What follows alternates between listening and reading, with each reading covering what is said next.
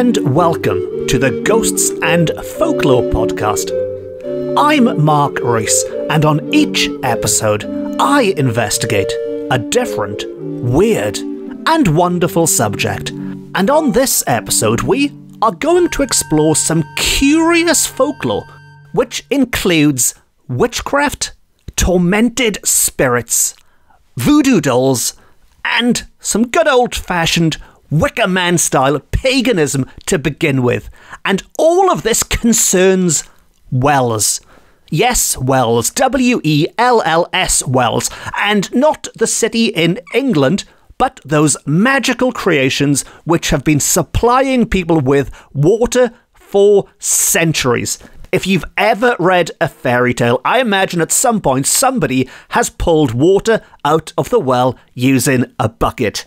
Now, this is the latest in a semi regular series on this podcast looking at the folklore of water. In the past, we've looked at the folklore of rivers, of the sea, of streams. This time out, it's wells, and while the water might be more static, shall we say, it's captive water, it is no less fascinating, and it is certainly no less creepy as you will soon discover. Now, quickly, before we begin, I should point out that all of this folklore was recorded in the early 1900s. It was written down and published in the early 1900s, but of course, it dates from times much earlier than that. And our first one concerns a well called Gethy on Well in the Swansea Valley near Gellionnen Chapel, not too far from Pontardawe in Neath Talbot. And this magical well was particularly popular in times of drought, because to quote, we are told that the well was formerly frequented by people in seasons of drought for the purpose of getting some of the water, which, when thrown or scattered about, would bring rain because by performing some strange ritual there, you could not only guarantee that the well itself would be replenished, but you could bring rain to other places as well. It's a bit like performing a, a Welsh version of a rain dance, I guess, and it's the kind of thing, what I'm about to describe to you, I would love to see in person one day. But to quote, we are told that the well was formerly frequented by people in seasons of drought for the purpose of getting some of the water, which, when thrown or scattered about, would bring rain. So, that part of it all sounds quite straightforward, if a bit wasteful in times of drought. You gather that water, you scatter it about, but the hope is by scattering it, you'll generate a heck of a lot more water when it rains. But there's more to it, and to quote an old man, no name sadly, but an old man in the early 1900s, so when he was growing up in the 1800s at some point, he remembers in his childhood that people would dance on the nearest green spot to the well and throw flowers and bunches of herbs at each other. Then they would sing old fashioned Welsh ballads and play Kiss in the Ring, which is an old children's game, and the leader of the company going to the well would cry, Bring us rain three times. And as I record this, it is absolutely torrential outside, and I can't imagine anyone in Wales asking for rain for quite some time. But anyway, if you did want rain, that's what you do. And back to it. The people, chiefly youths and maidens, would fill bowls or pitchers with the water and either throw it there or carry it home to scatter upon the garden and as a result, rain always followed. So there's quite a lot going on there, but just to recap quickly, just in case you fancy trying this at home, but they'd head to the nearest spot of Greenland, the nearest spot of grass near to the well. The youths and maidens, the boys and girls, would throw herbs and flowers at each other. I'm guessing that wouldn't hurt too much. They'd sing some songs, play some games, and then, after the leader demanded that this well bring us rain, bring us rain, bring us rain, it would indeed follow after they'd filled their bowls of pitchers with that water and thrown it on the ground or scattered it upon their garden, presumably to bring rain specifically to their property, their crops. And in this way, it makes the magical properties of this well portable. You can then take the water away and use it where it's needed. So, while it might sound like a curious tradition, if it works, it works. I mean, I can't talk from personal experience, but in the 1800s, it certainly seemed to do the trick. Now, another well with a curious story attached to it is the well dedicated to Saint David in the Ceredigion village of Hen Vanu, and it goes like this. Another old man, there's a lot of old men in this episode, but another old man went to this well alone on Midsummer Eve, which, as regular listeners will know, in Wales is one of the three spirit nights, one of the Ysbryd Nos, much like Halloween. But he was at this well alone on Midsummer Eve, and while there, he heard a voice from the waters down in the well calling, Help, help. He looked around everywhere, but not a person was visible.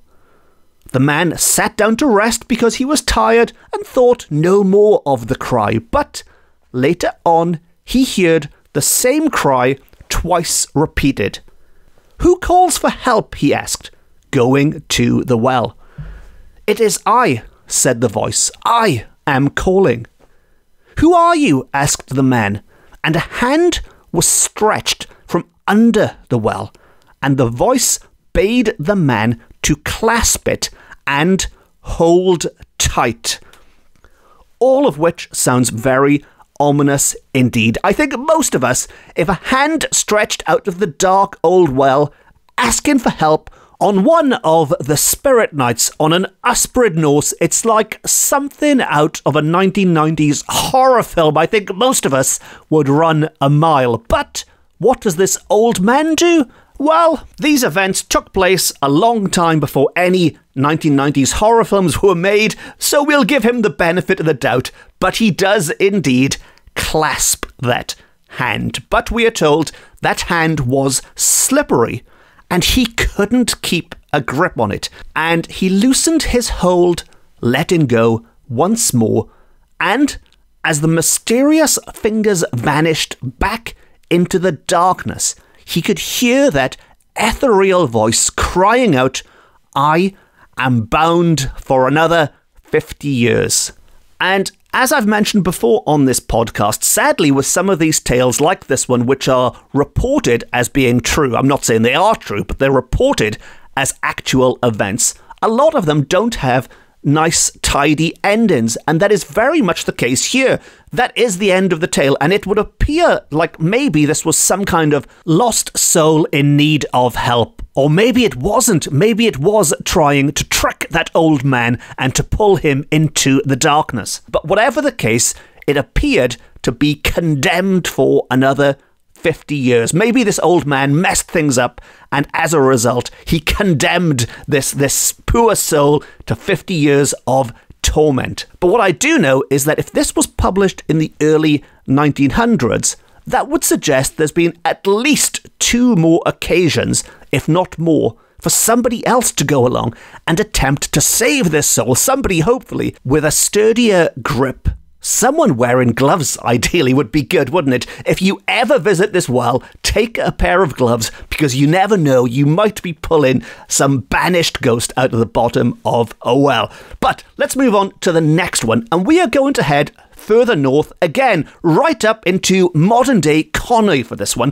where we are told that somewhere between Abergele and Llandudno is a spring called Ffynnon Elian or St. Elian's Well in English. And it's a bit vague in the original folklore, but it's assumed to be the well in the village of Llan Elian and Rhos, and is where, in days gone by, some skullduggery, we are told, would take place. Because, to quote, people maliciously inclined, which is a nice way of saying people up to no good, but people maliciously inclined formerly used to come from all parts of Wales under the pretense of drinking the healing waters. So they would go there in disguise as pilgrims, as genuine pilgrims. But in reality, they came to obtain the waters for bewitching their enemies. So this well was being used by two kinds of people who both sought some miraculous, some magical abilities from it. On the one hand, the genuine pilgrims who wanted to be healed by it. On the other hand, those maliciously inclined people who wanted to use it to bewitch people. Now, one person in particular, a farmer in Breconshire, as the county was then, having heard of this, took two small barrels and placing them pannier fashion on his horse, so one balanced either side, went all the way to Abergele for water from Ffynnon Elian, with which to punish his enemies. And after filling up these barrels, he returned home back down to Breconshire and placed the barrels in his outhouse. The next morning, he went to get some water to throw after one of his enemies. You can just picture this. It's like a, a vampire hunter throwing holy water at a vampire, maybe. But the barrels burst and the water fell over him, with the result that he was bewitched ever afterwards. And so the suggestion here is that this holy water is so holy. If you try and use it for evil reasons, it will backfire. If you try and bewitch someone with it, it will in turn bewitch you. And as a result, it gained something of a reputation and became closely connected with many terrible superstitions. So you had to be extra careful with this holy water. It was like dynamite. Yes, maybe you could use it for some bad reason, but you might pay the price as well. And as a result, some of the old people, back to old people, but old people generations ago, called it the Well of Evil, which is a bit of a giveaway. And as a result, it was shunned by all respectable persons. So this reputation kept away the genuine, God fearing people as well. And as a result of all this, there was one man, one person who did profit from all of this. You could say he made a tidy living, or, you know, at least a profitable sideline from the well's supposed evilness.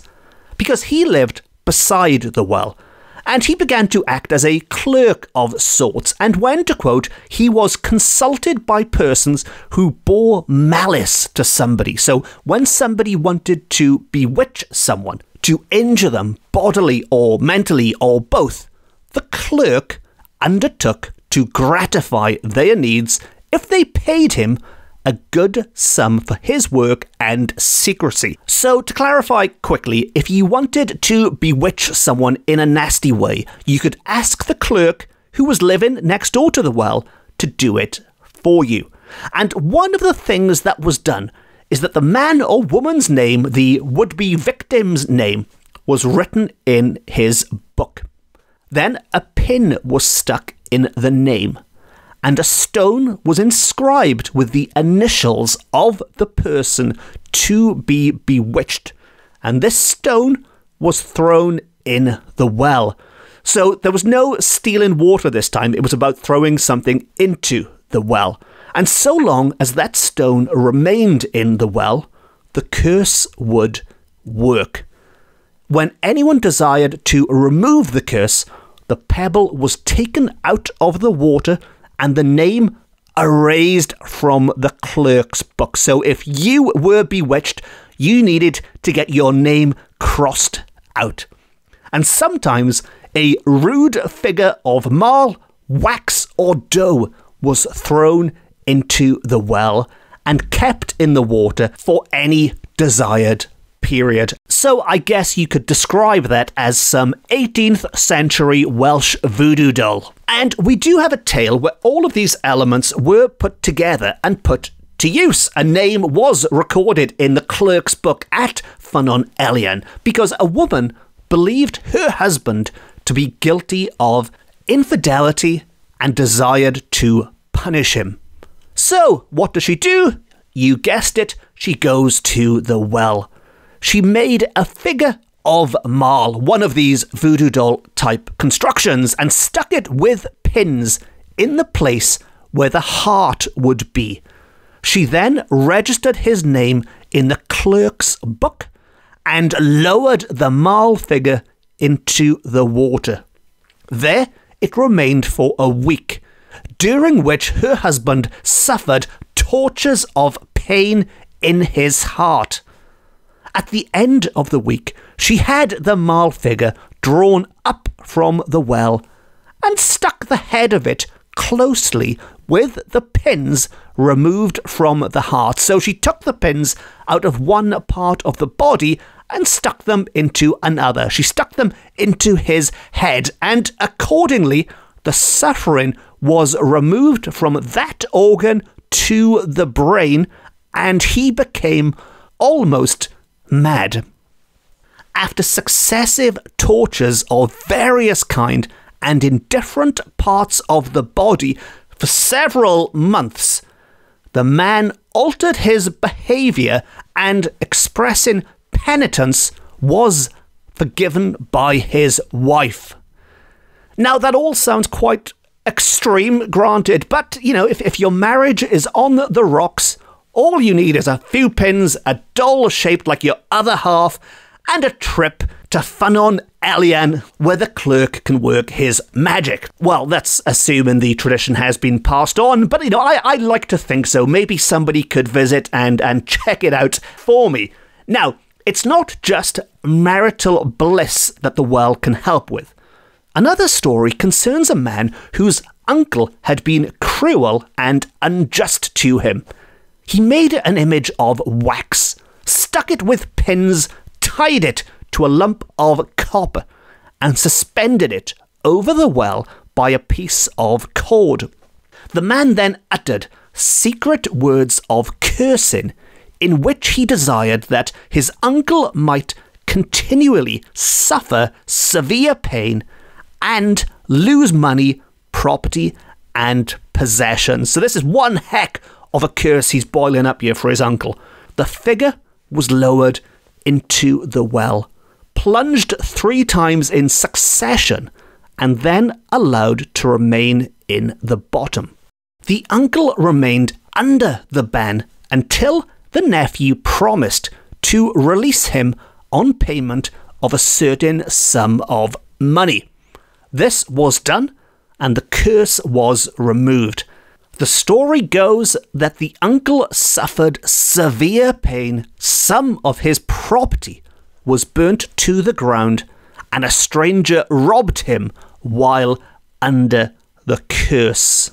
So, as those examples illustrated, the well had multiple uses, and I think it also serves as conclusive proof that Ffynnon Elian, in the past at least, certainly lived up to its nickname as the Well of Evil.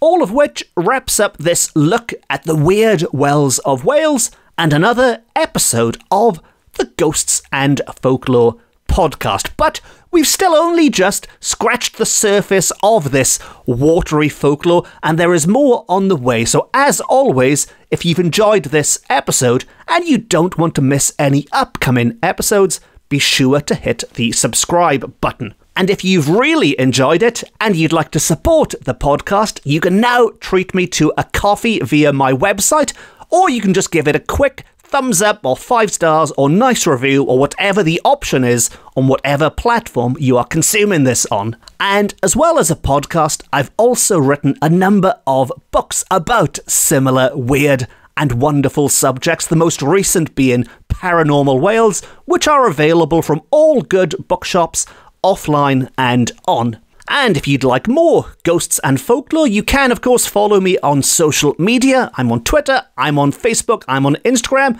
and if you do, be sure to say hello. And on that note, it just leaves me to say thank you very much for listening. Diolch yn fawr iawn am wrando. I've been Mark Rees. This has been my Ghosts and Folklore podcast, beaming to you from Wales to the world. Until next time, no Star.